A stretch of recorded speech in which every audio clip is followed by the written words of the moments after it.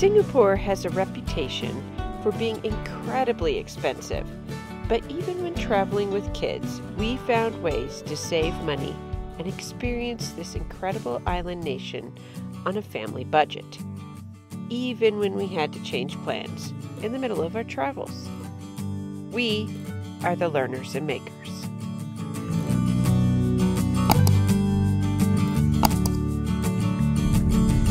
We're here.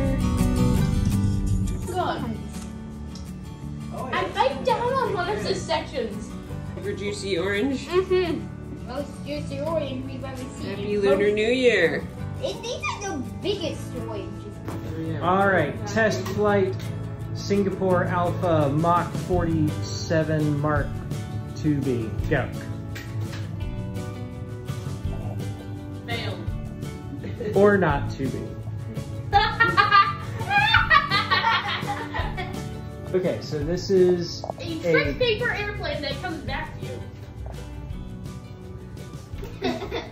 it works better when you sit down. Watch. Good morning from Singapore. Connor and I are heading out to pick up a couple things for breakfast. And it is a beautiful morning here in Asia. One of the challenges in Singapore is trying to find things that are more affordable. This can be an expensive place to travel, especially when it's not just one person, but four. So one of our goals is to try to get the most out of our family travel budget and really enjoy this incredible city nation while not breaking our bank.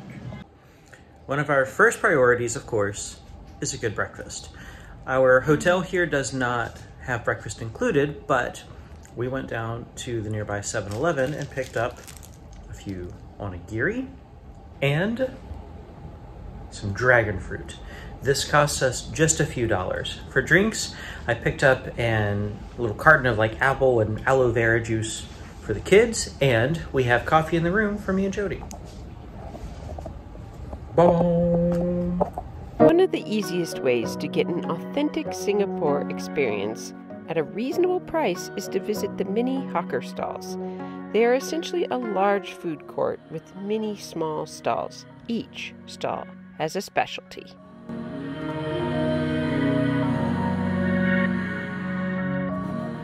We've got spicy wontons, mini dumplings, pan fried dumplings. They're hot, so we're waiting for them to cool. Chinatown in Singapore is pretty amazing. The guy at the visitor center said the main thing to do is eat, which is perfect. What'd you guys get? The fancy. Tell me. Western egg. Western egg tart It's a cookie. Ah, yes, finally. with the cookie skin. You shall be eaten. Custard polo buns. Okay. It's a little tartar. It's not tart, it's just sweet. Tart is the shape. It's not the flavor. Well, it should be tart. The mark of a really cool area is all the little things that you gotta look out for.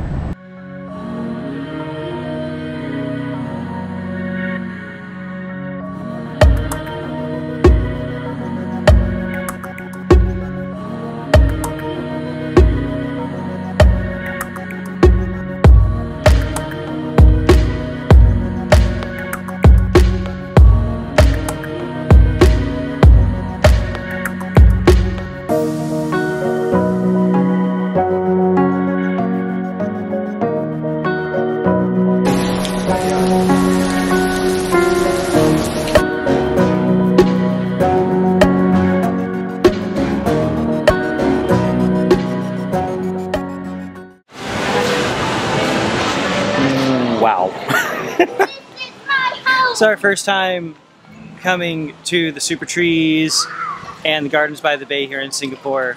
We've seen the photos, we've seen videos. This is just dazzling to experience for ourselves.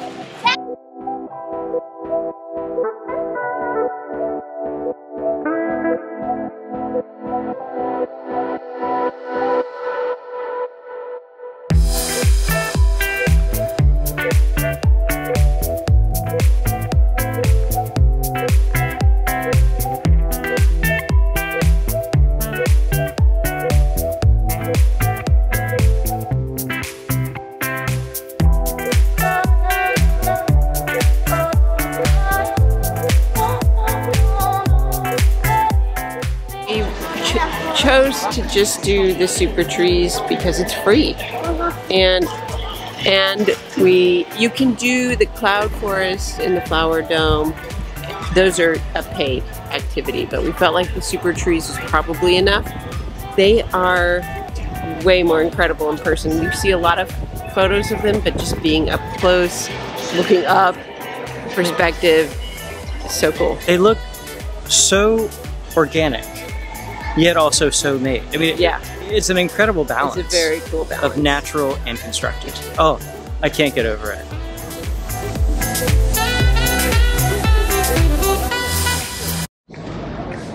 What do we say to wish people a happy new year here in Singapore? Sing Yang Guan What?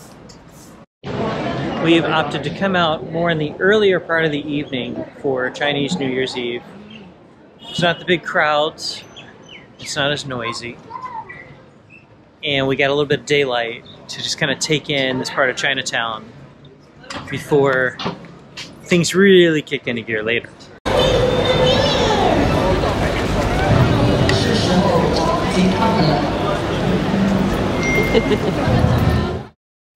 We were finding out what rainy season in Singapore really meant.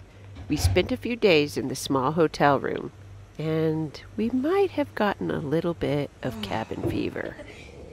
He's a big dumpling, dumpling, dumpling. He's a big dumpling, dumpling. He's a big dumpling, dumpling, dumpling. He's a big dumpling, dumpling. We decided to go ahead and splurge and do the cloud forest because we love the super trees so much and you know we're not here to just spend time in the hotel we, and it's rainy out so we needed something inside This And- was one of the big things to do in Singapore, and especially when the weather isn't the best, we can go inside.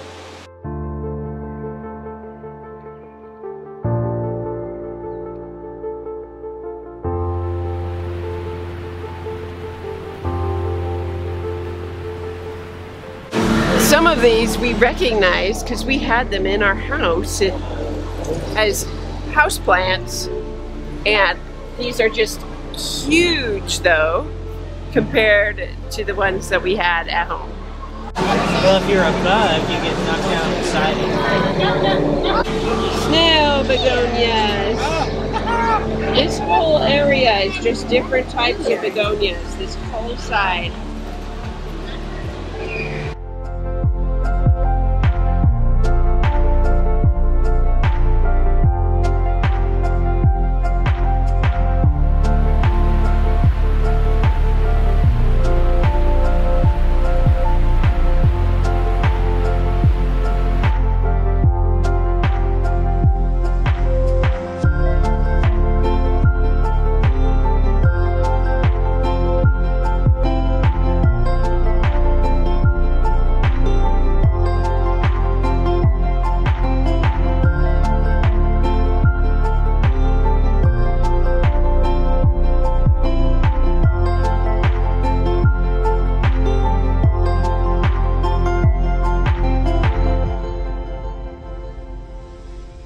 Música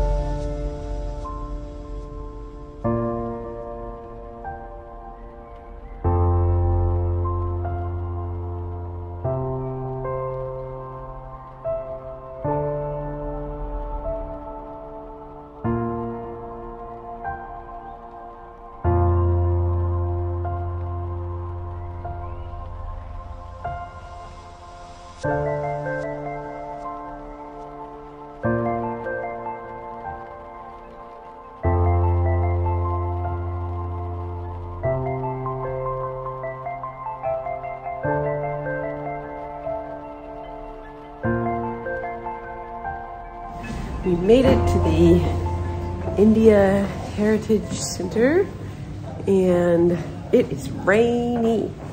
So this is a perfect thing to do because it's inside and we wanted to come to Little India. So this is kind of our chance to do what we can.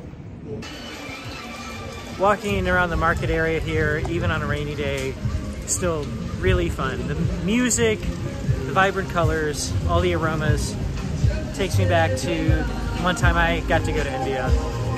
This is a really incredible place and I'm hoping that we will be coming back to Singapore at some point. I could explore in Little India for a long time. I think it's safe to say that we would like to explore Singapore more. To follow our everyday adventures, follow us on Instagram and TikTok. For more detailed itinerary and information about family and accessible travel, go to our blog, learnersandmakers.com. And don't forget to hit subscribe and that thumbs up button, and we will see you next time. Bye. This is fun. We should come here sometime. Yeah, I'm getting the hang of it. I'm getting the hang of this.